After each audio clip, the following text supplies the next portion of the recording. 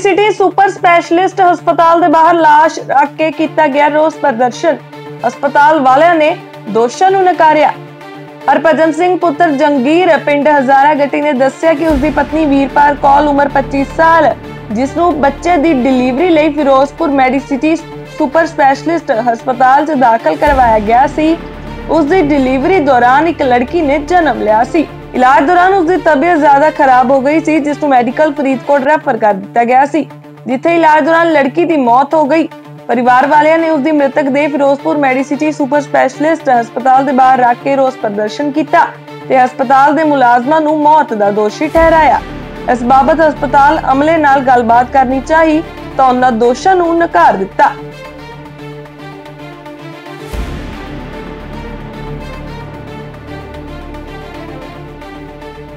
ਤੁਹਾਡਾ ਜੀ? ਮੇਰਾ ਨਾਮ ਹਰਪ੍ਰੀਤ ਸਿੰਘ ਮ੍ਰਿਤਕ ਦੇ ਤੁਸੀਂ ਕੀ ਲੱਗਦੇ ਹੋ? ਮੈਂ ਸਰਕਾਰ ਅੱਛਾ ਜੀ।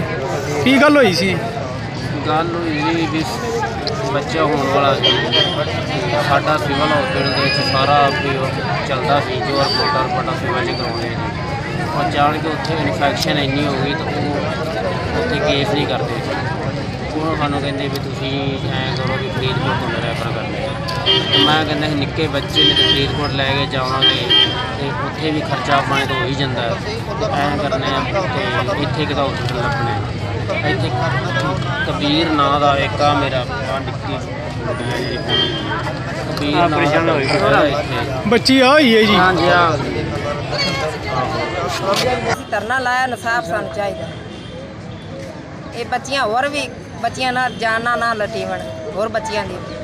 ਇਹ ਬੰਦ ਹੋ ਜਾਵੇ ਮੈਡੀਸਿਟੀ। ਇਹ ਮੈਡੀਸਿਨ ਬੰਦ ਹੋਣਾ ਚਾਹੀਦਾ। ਮੈਡੀਸਿਟੀ ਵਿੱਚ ਤੁਸੀਂ ਟ੍ਰੀਟਮੈਂਟ ਕਰਾਇਆ ਹੈ ਤੁਹਾਨੂੰ ਕੀ ਪ੍ਰੋਬਲਮ ਆਈ ਹੈ ਕਿਹੜੀ ਪਰੇਸ਼ਾਨੀ ਕਰਕੇ ਇੱਥੇ ਲਾਸ਼ ਪਈ ਹੈ ਵੀ ਤੁਸੀਂ ਧਰਨਾ ਕਿਉਂ ਲਾਇਆ ਉਹਦਾ ਪੂਰਾ ਵੇਰਵਾ ਦੱਸੋ। ਹੁਣ ਤਾਂ ਬਾਥਰੂਮ ਨਹੀਂ ਆਉਂਦਾ ਸੀ ਤਾਂ ਉਹਦੀ ਮੌਤ ਹੋ ਗਈ ਨਾਲ ਤੇ ਆਪਾਂ ਕੀ ਚਾਹਣੇ ਆ? ਹਾਂ ਅਸੀਂ ਚਾਹਣੇ ਵੀ ਇਨਸਾਫ ਮਿਲੇ ਸਾਫ਼ ਚਾਹੀਦਾ।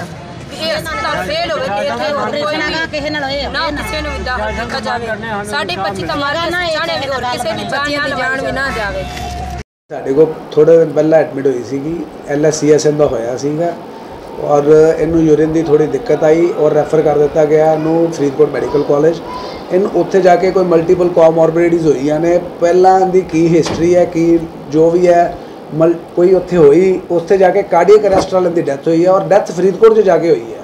ਠੀਕ ਹੈ? ਔਰ ਸਾਨੂੰ ਇਹ ਕਾਜ਼ ਆਫ ਡੈਥ ਜਿਹੜਾ ਸਾਨੂੰ ਪਤਾ ਚੱਲਿਆ, ਉਹ that is due to cardiac arrest ਹੁਣ ਇਹਦੇ ਚ ਹਸਪੀਟਲ ਦਾ ਸਾਡਾ ਤਾਂ ਉਹਦੇ ਨਾਲ ਕੋਈ ਲਿੰਕ ਹੀ ਨਹੀਂ ਹੈ, ਨਾ ਸਾਨੂੰ ਉੱਥੋਂ ਦੇ ਪੂਰੇ ਨੋਟਸ ਆਏ ਆ ਨਾ ਸਾਨੂੰ ਉਹਨਾਂ ਦੀ ਹਿਸਟਰੀ ਪਤਾ ਵੀ ਉਹਦਾ ਉੱਥੇ ਜਾ ਕੇ ਕੀ ਟ੍ਰੀਟਮੈਂਟ ਹੋਇਆ ਜਾਂ ਕੀ ਨਹੀਂ ਹੋਇਆ।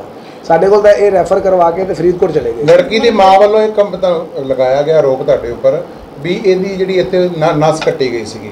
ਯੂਰਨ ਬੰਦ ਹੋ ਇਹ ਤਾਂ ਸਰ ਤੁਹਾਨੂੰ ਫਰੀਦਕੋਟ ਮੈਡੀਕਲ ਕਾਲਜ ਵਾਲੇ ਹੀ ਇਸ ਚੀਜ਼ ਬਾਰੇ ਦੱਸ ਸਕਦੇ ਆ ਵੀ ਉੱਥੇ ਜਾ ਕੇ ਕੀ ਕਿਸ ਕੰਪਲੇਂਟ ਦੇ ਵਿੱਚ ਉਹ ਗਈ ਹੈ ਤੇ ਉੱਥੇ ਜਾ ਕੇ ਕੀ ਉਹਦਾ ਟ੍ਰੀਟਮੈਂਟ ਹੋਇਆ ਹੈ। ਇਹਨਾਂ ਦੇ ਕੀ ਮਨਸ਼ਾ ਰਹੀ ਫਿਰ ਮਤਲਬ ਇੱਥੇ ਧਰਨਾ ਲਗਾ ਇਹ ਸਰ ਸਾਡੇ ਕੋਲ ਆਏ ਆ ਉਹਨਾਂ ਨੂੰ ਅਸੀਂ ਸਾਰੀ ਚੀਜ਼ ਦੱਸ ਦਿੱਤੀ ਹੈ ਵੀ ਸਾਡਾ ਇੱਥੇ ਕੋਈ ਨਹੀਂ ਹੈਗਾ ਉਹ ਕਹਿੰਦੇ ਅਸੀਂ ਧਰਨਾ ਚੱਕ ਹਾਂ ਉਹ ਚੱਕਣ ਲੱਗੇ ਧਰਨਾ ਸੈਟੀਸਫਾਈਡ ਹੋ ਕੇ ਜਾ ਰਹੇ ਆ ਵਾਪਸ।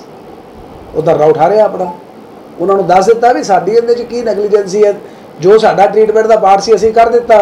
ਉਸ ਤੋਂ ਬਾਅਦ ਫਰੀਦਕੋਟ ਗਏ ਆ, ਫਰੀਦਕੋਟ ਕੀ ਟ੍ਰੀਟਮੈਂਟ ਹੋਇਆ, ਜੋ ਵੀ ਹੋਇਆ, ਉਹ ਲਾਈਨ ਆਫ ਟ੍ਰੀਟਮੈਂਟ ਉਹਨਾਂ ਦੀ ਸੀ। ਪੇਸ਼ੈਂਟ ਦੀ ਡੈਥ ਫਰੀਦਕੋਟ ਹੋਈ ਹੈ।